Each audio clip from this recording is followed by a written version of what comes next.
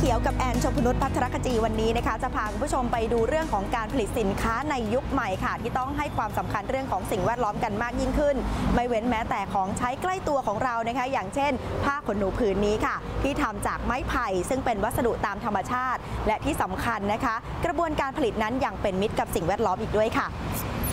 ถ้าคุณผู้ชมมีโอกาสไปเดินเลือกซื้อสินค้าตามห้างร้านต่างๆนะคะ ก็คงจะได้เห็นฉลากที่ติดอยู่ที่ตัวผลิตภัณฑ์นั้นๆ ว่าเป็นมิตรกับสิ่งแวดล้อม หรือไม่ก็ผลิตจากวัสดุรีไซเคิลค่ะ แต่เชื่อว่าหลายคนก็ยังนึกภาพไม่ออกนะคะว่า จะเป็นมิตรกับสิ่งแวดล้อมได้ยังไง วันนี้จะยกตัวอย่างง่าย ๆ ค่ะ กับผ้าขนหนูผืนนี้ ที่ผลิตโดยบริษัทราชาอุชิโนจำกัด ซึ่งเป็นโรงงานผู้ผลิตสินค้าประเภทเคหะสิ่งทอ ตั้งอยู่ภายในสวนอุตสาหกรรมเครือสหพัฒน์อำเภอศรีราชาจังหวัดชนบุรีค่ะ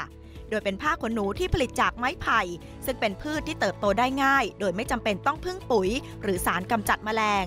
ต้นไผ่นี่นะคะ สามารถที่จะดูดซับคาร์บอนไดออกไซด์ได้มากกว่าต้นไม้ทั่วไปถึง 4 เท่าตัวค่ะ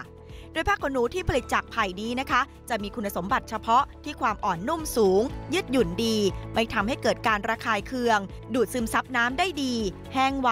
อีกทั้งยังมีแบมบูคุณนะคะ ซึ่งเป็นสารสำคัญตามธรรมชาติที่อยู่ในเยื่อไผ่ มีคุณสมบัติในการต้านแบคทีเรีย ที่เป็นสาเหตุของเชื้อโรคและกลิ่นอับชื้นค่ะ มีอายุการใช้งานที่ยาวนาน และไม่เป็นขุย ถึงแม้จะผ่านการซักบ่อยๆ ก็ตาม แต่ว่าไฮไลท์สำคัญนะคะอยู่ที่กระบวนการผลิตที่เป็นมิตรกับสิ่งแวดล้อมค่ะวันนี้ทางโรงงานนะคะได้เปิดให้เราเข้าเยี่ยมชมกระบวนการผลิต ตั้งแต่การปั่นเส้นได้ การฟอกย้อมสีด้วยเครื่องจักรประหยัดพลังงาน รวมถึงขั้นตอนการลำเลียงน้ำเข้าสู่บ่อบำบัดน้ำเสียด้วยระบบชีวภาพ โดยเฉพาะขั้นตอนการรีดตะกอนนะคะ จนได้กาก ก่อนนำส่งไปกำจัดด้วยวิธีฝังกลบ เพื่อเปลี่ยนน้ำเสียให้เป็นน้ำคุณภาพดี แล้วค่อยปล่อยคืนสู่ธรรมชาติค่ะขั้นตอนต่างๆ เหล่านี้นะคะทำให้ผ้าขนหนูที่ผลิตได้ 1 ผืน สามารถช่วยลดการปล่อยก๊าซคาร์บอนไดออกไซด์ได้ประมาณ 4 กิโลกรัมคาร์บอนค่ะ และที่สำคัญนะคะ ยังสามารถย่อยสลายได้ในธรรมชาติ โดยจุลินทรีย์และแสงแดด ก็ถือว่าตอบโจทย์ผลิตภัณฑ์ที่เป็นมิตรกับสิ่งแวดล้อมในทุกกระบวนการผลิต ตั้งแต่ต้นน้ำจนถึงปลายน้ำค่ะ แล้วก็ยังมีส่วนช่วยผลักดัน สร้างคุณค่าให้พืชธรรมดาธรรมดานี่นะคะ กลายเป็นพืชเศรษฐกิจ เป็นผลิตภัณฑ์ไร้คาร์บอน สอดรับกับนโยบาย Net Zero ได้อย่างยั่งยืนค่ะ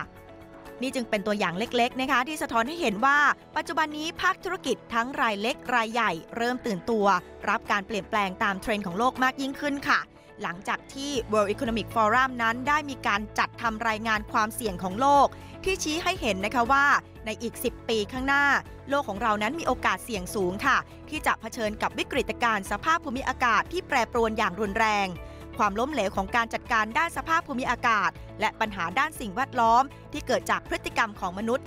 ปัญหาความเหลื่อมล้ำทางดิจิทัล รวมถึงปัญหาเกี่ยวกับความปลอดภัยทางโลกไซเบอร์ค่ะ ซึ่งล้วนแล้วแต่จะส่งผลต่อรูปแบบการดำเนินชีวิตของคนเราทั้งสิ้น ไม่ใช่แค่ภาคประชาชนเท่านั้นนะคะ ที่จะได้รับผลกระทบ แต่ว่ายังส่งผลไปถึงเรื่องของภาคธุรกิจ ให้เกิดการปรับตัวค่ะ เพราะเมื่อการดำเนินธุรกิจในรูปแบบเดิมๆ ที่เน้นเฉพาะผลกำไร แล้วก็การลดต้นทุน อาจจะไม่ตอบโจทย์กับบริบทของโลกในยุคปัจจุบัน และยุคหลังจากนี้ได้อีกต่อไปนะคะ ธุรกิจจึงจำเป็นจะต้องหาทางรอดและปรับตัว เพื่อให้สามารถเติบโตไปได้อย่างเกื้อกูลแก่ทุกฝ่าย ไปพร้อมๆ กับการสร้างผลตอบแทนได้อย่างยั่งยืนค่ะก็อย่างที่เห็นนะคะคุณผู้ชมคะว่าภาคธุรกิจนั้นเริ่มขยับตัวเรื่องของการผลิตสินค้าที่เป็นมิตรกับสิ่งแวดล้อมกันแล้วค่ะ แต่ว่าการจะขับเคลื่อนเรื่องนี้ให้เกิดขึ้นได้ทั้งระบบอย่างเป็นรูปธรรมนั้นจำเป็นจะต้องได้รับการสนับสนุนทั้งจากภาครัฐ แล้วก็ผู้บริโภคในการซื้อสินค้าเหล่านี้ด้วยนะคะ และทั้งหมดนี้ก็คือกรีโนมิกเศรษฐกิจสีเขียวสำหรับวันนี้ สวัสดีค่ะ